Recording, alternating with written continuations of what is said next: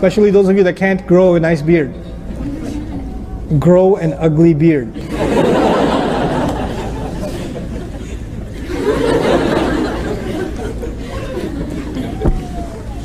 It'll help you. They'll stay away. What more do you want? You save yourself a lot of fitna.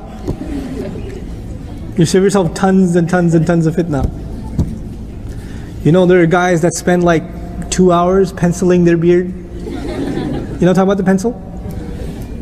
Right? And they check themselves in every reflection. Right? And they're super conscious when a girl walks by. They're super conscious. You know? And do that. Don't be like that.